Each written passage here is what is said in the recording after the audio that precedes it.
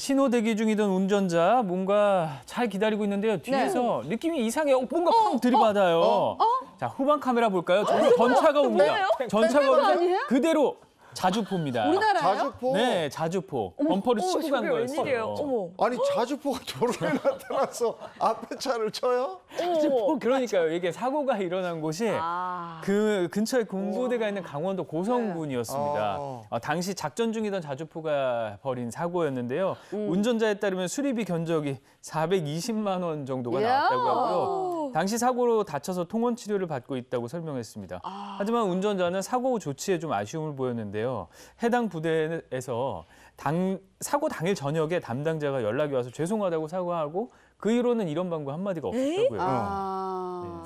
그러면 안 되는 거 아니에요? 뭔가 더한 얘기가 좀 있어야 될 것 같고. 그러니까요. 네. 이 운전 저도 이제 기갑 부대에 있어서 저 자주포에 대해서 그랬어요? 잘 아는데 저 철판 두께가 엄청나거든요. 네. 네네. 무기입니다, 무기. 어. 정말 자동차가 종이장처럼 구겨질 수 있는 상황인데 네. 운전자가 사고 이후에 네. 옆에 뭐가 탱크가 지나가기만 해도 운전할 때 상당히 두려움을 느끼고 있다고 네. 말을 했고요. 네. 보험 처리기 때문에 보험사랑 연락하는 게 맞지만 군에서 정말 사람 목숨이 위태로울 수 있었던 상황인데 아. 너무 아니라는 게 대처 안일하게 대처하는 거 아니냐 이런 좀 아쉬움을 토로했습니다. 그래서 음. 군에서 어떤 보상이라도 받을 수는 없는 건지 좀 그게 궁금하다 이런 질문도 남겼습니다. 어, 못 봤나? 들어보니까 우선 네. 수리비가 420만 원 나왔다 했잖아요. 맞습니다. 그래서 보험에 대해서 좀 자세히 짚어봐야 되는데 음. 탱 크랑 사고가 발생했단 말이죠. 이거 보험 처리가 되는 거예요? 보험 처리는 되는데 네. 아, 여러분 생각해 네. 보세요. 뒤에서 차가 쿵 받은 어떤 차는 딱 보니까 탱크가. 얼마나 정신적인 충격이 크겠습니까? 이상하죠. 이렇게 어, 트라우마가 어이없었을 생길 수도. 있거든요. 네. 뭐 다행히 이제 뭐 구령 차량 같은 경우에도 보험에 가입했으니까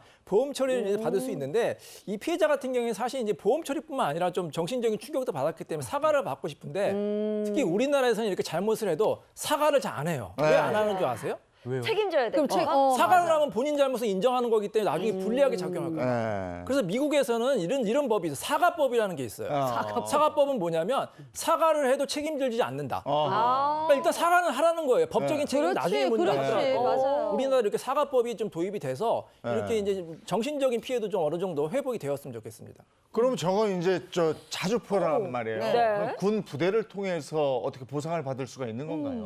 이 사건을 요약하자면 결 국에는 군인이 일종의 공무원이 네. 관용차를 운전하다가 난 사고 이렇게 요약을 할 수가 있을 것 같은데 이런 경우에는 국가배상법과 자동차 손해배상보장법 즉 자배법에 따라서 국가가 피해를 배상해주도록 되어 있어요. 음. 물론 구체적 사실관계에 따라서 좀 달라질 수는 있지만 어우. 일단 인적 피해에 대- 대해서는 자배법에 따라서 이 자배법을 넘어서는 범위의 물적 피해 같은 어, 것들에 대해서는 민법이나 국가배상법에 따라서 배상을 해주도록 되어 있는데 어쨌든 근거 법령이 뭐든 간에 배상을 해주는 방식은 뭐죠? 보험금을 처리하는 방식, 네. 보험금을 지급하는 방식이에요. 그렇게 되면은 군 부대 입장에서는 이미 보험 처리를 통해서 배상을 해줬는데 네. 이것과 별도로 또 다른 어떤 근거 법령을 통해서 배상을 한다는 것은 좀 문제가 있을 수 있는 맞아요. 거죠. 그래서 이게 받아들여지기 어려울 가능성이 높습니다.